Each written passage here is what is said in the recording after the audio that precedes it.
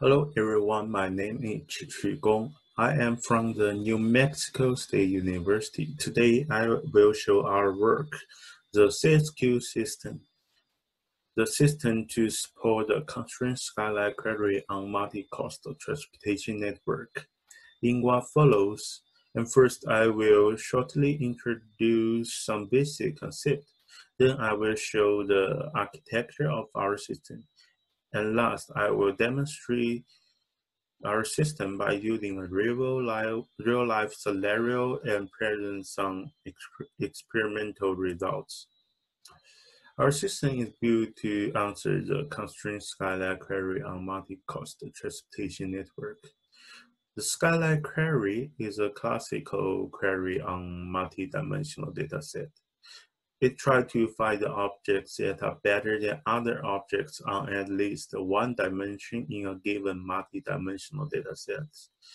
The objects in the result says that they are not dominate each other. In our work, we are trying to conducting the query, Skyline query on multi-cost transportation network. We can call it MCTN for short. So in MCTN, the nodes represent the bus stops or metro stations. The segments or the edges in MCTN represent the segments of bus line or metro line. The MCTN constraint skyline, we can call it CSQ for short, is a new type of skyline query on multi-cost transportation network. And MC given an MCTN G and the query point Q that could be of the skyline of the network, and the, set of points of interest in D that could be of the network as well. The CSQ tries to return the skyline answer objects that can be reached from Q. Here, an answer object can be reached from Q, which means it can be reached from Q by utilizing the public transportation network or walking directly from Q. So now let's take a look at the architecture of our system. The data storage and indexing components store the point of interest and the public transportation network. The query processing component implements the exact solutions and the heuristic search algorithm to answer the CSQs. The web interface provides an inter interactive user interface to allow users to input their query and relate it to parameters, and also to visualize the CSQ answers. As mentioned before, there are two types of data need to be stored properly to support efficient constraint skyline query. The first one is the point of interest object. Each object has multi-dimensional non-spatial attributes. We use the R-tree to store the multi-dimensional non-spatial attributes and the location information of each object.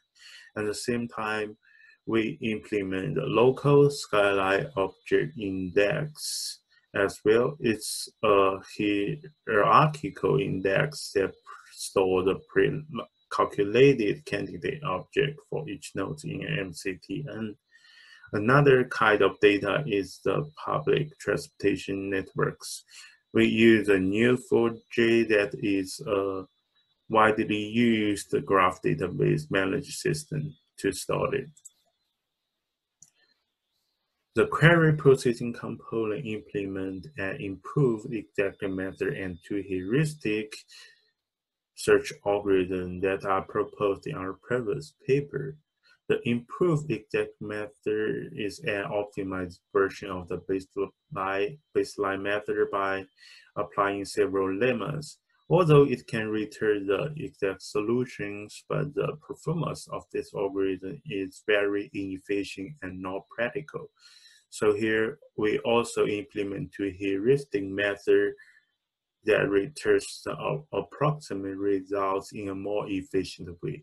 The first method is called the range approximate method. It constrains the walking distance must be within a given threshold. We call this threshold is the distance threshold. The second method is called the mixed approximate method. Besides the distance threshold is adopted that follow the same idea of the range approximate method. But also in this method, a graph path is only expanded when one of its V value is minimum here in the graph traverse. The details of those algorithms can be found in our previous paper. Besides implementing uh, implement mentioned method, there are two new features to add this system to make it more practical and more friendly. And first, we generalize the query point could be the location that a user can specify it on the map directly, not one of the not only one of the objects from a list. Then we add one more constraint eh, to consider the number of bus stops, which means we limit the length of the public transportation path. Introducing those two new features not only not only speed up the query process, but also generate a more decent result set. The last component is the web interface. Our web interface is organized with four regions. The parameter region, the object list panel, the path showing region, and a pop-up info window. Here, the in general, we accept four different kinds of parameters. The query point where the query happens, and the points of interest type, the desired type the user want the system return, the distance threshold, the maximum distance that a user is willing to walk, the number of bus stops, the maximum length of the graph path. Once the results are ready, the distinct objects are uh, lists on the object list panel. Once any object is clicked, the corresponding path from the query point to it will be drawn on the map. And also the detailed information of each of the object will be displayed on the map on the pop-up window. It includes the non-spatial attributes and the corresponding costs of each path. In our demonstration, we use three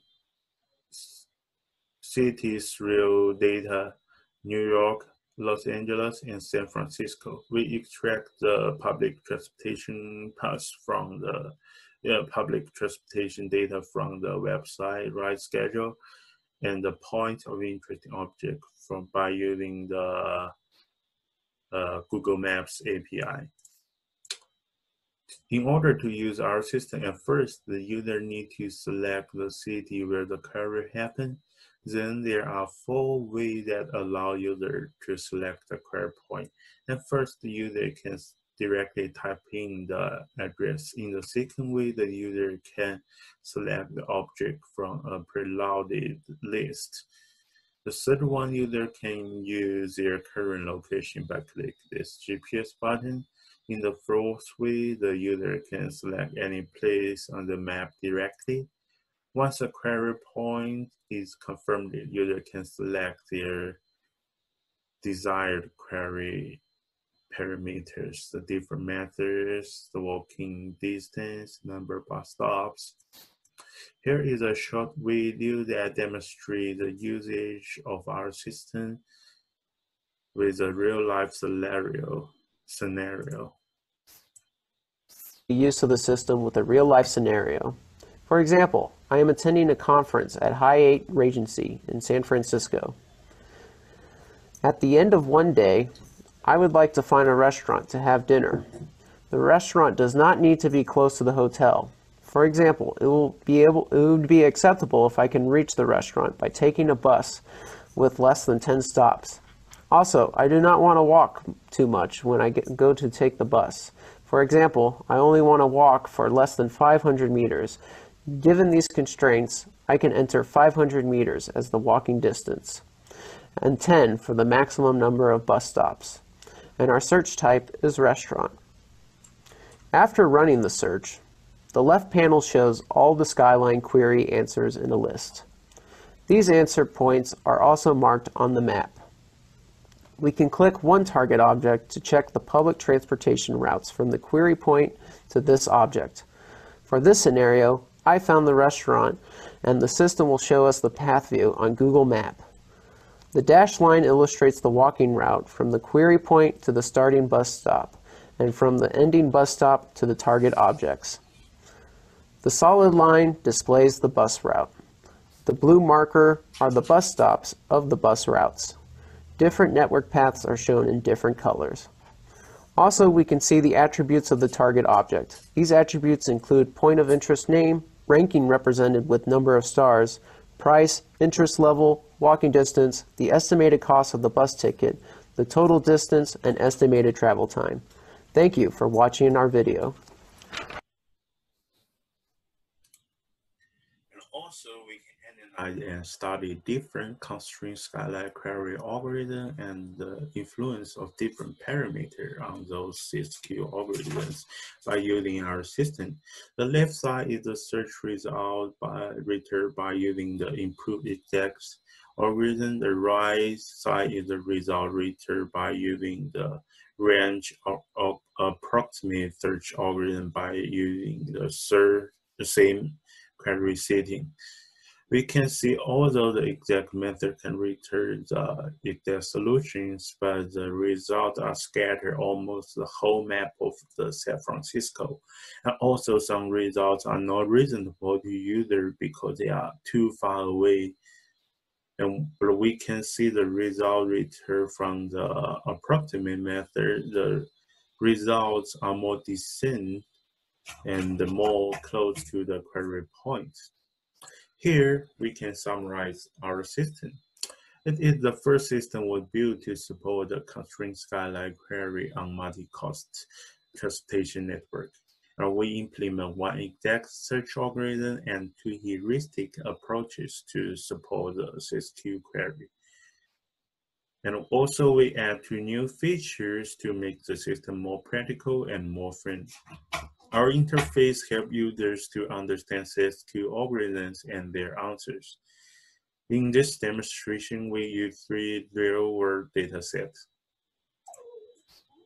Here are some references used in our paper. Thank you. Have any questions?